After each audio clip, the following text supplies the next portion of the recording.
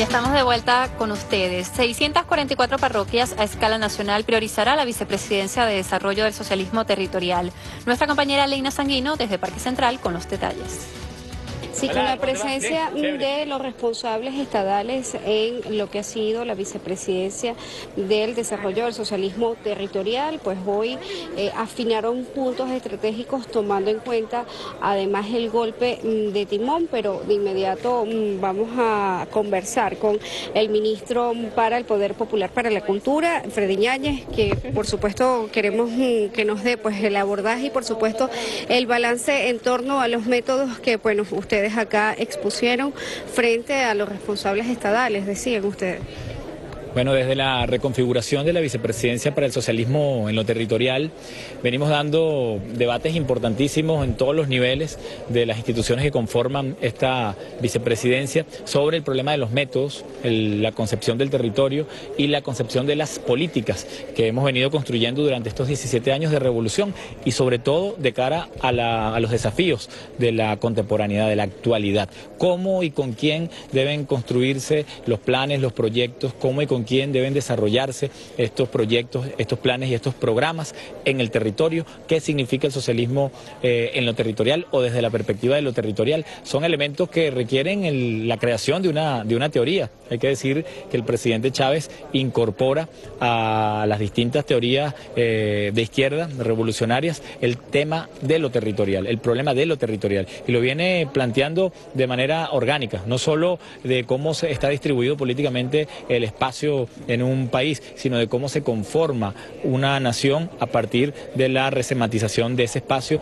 de las subjetividades de ese espacio de las formas de hacer política en ese espacio. Yo creo que todo esto viene desde la toparquía, el concepto de Simón Rodríguez, de reconocer que en cada lugar hay una forma de gobierno, hay una forma de organización, hay un microcosmo que constituye un cosmos superior para luego enlazarse como un gran tramado y eso es lo que va a construir finalmente una sociedad y eso es lo que va a construir finalmente un Estado una nación, porque así es como se comporta nuestro pueblo, así es como se comportan eh, nuestras sociedades y por eso de lo que se trata en, en esta ocasión es de convertir nuestras instituciones en un espejo de nuestras dinámicas populares, de nuestras dinámicas sociales. ¿Cuáles serían esos sectores priorizados tomando en cuenta estos métodos que ustedes bueno, van a comenzar con justamente los responsables directamente hacia las comunidades? Lo territorial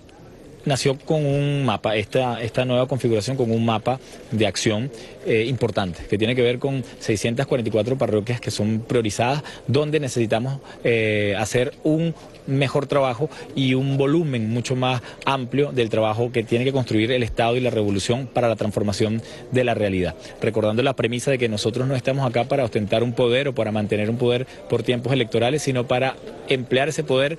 en función de la transformación de nuestra realidad. ¿Cuál es la realidad que queremos transformar? La inequidad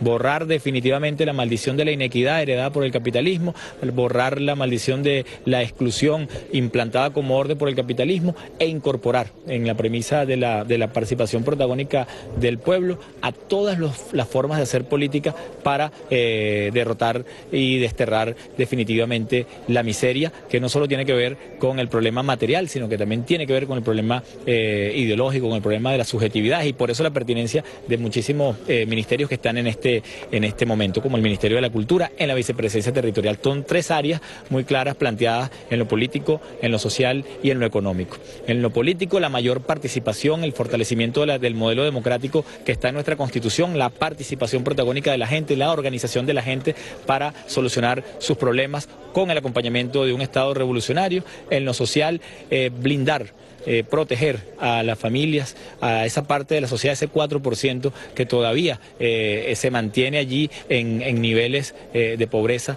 venimos heredando un país empobrecido, solucionar el tema social allí con los que más lo necesitan, creando organización y en el tema económico trascender la,